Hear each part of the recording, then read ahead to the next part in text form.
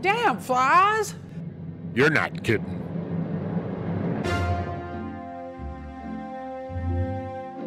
What'd you get, Daisy? Don't know. Smells good. Let's see it.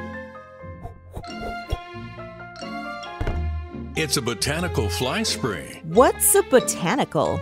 It doesn't have any synthetic pesticides. Will it work? It's from Spalding Labs. Their stuff works. Quit yakking about it and get him to spray us.